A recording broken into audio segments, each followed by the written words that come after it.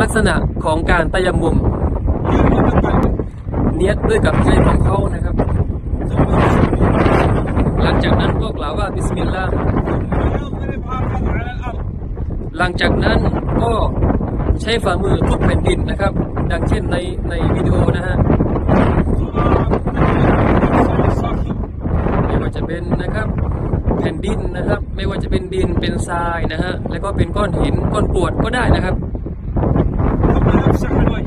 หลังจากนั้นก็เอาไปรูปที่ใบหน้า หลังจากนั้นก็เช็ดที่หลังมือนะครับ หลังจากนั้นหลังจากที่เช็ดที่มือที่มือขวาแล้วก็เช็ดที่มือซ้ายนะ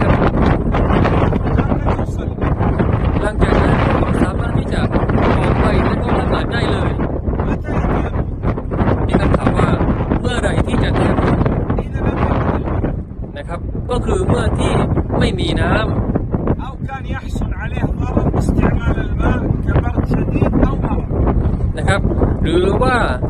ถ้าหากว่าใช้น้ำแล้วเกิดเกิดโทษถึงเขานะครับ ไม่ว่าจะเป็น